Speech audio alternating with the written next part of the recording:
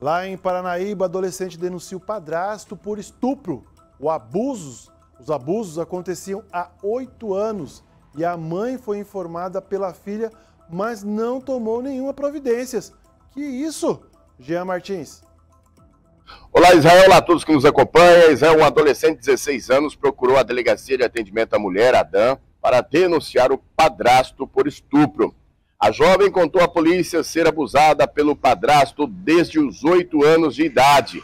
Ela avisou a mãe e toda a família, mas ninguém teria tomado providência. Consta na ocorrência que os crimes iniciaram em janeiro de 2015, em uma casa no bairro Santo Antônio, onde morava a família. Em depoimento especial na delegacia, a menor detalhou que sofria abusos semanais e que, por vezes, o agressor é quem tirava a sua roupa. A adolescente disse ainda que revelou os crimes para a mãe, mas a mulher do agressor apenas passou a não deixar a filha e o padrasto sozinhos no mesmo ambiente e prometeu que a levaria para morar com uma tia. Outros familiares também foram avisados, mas ninguém tomou a providência.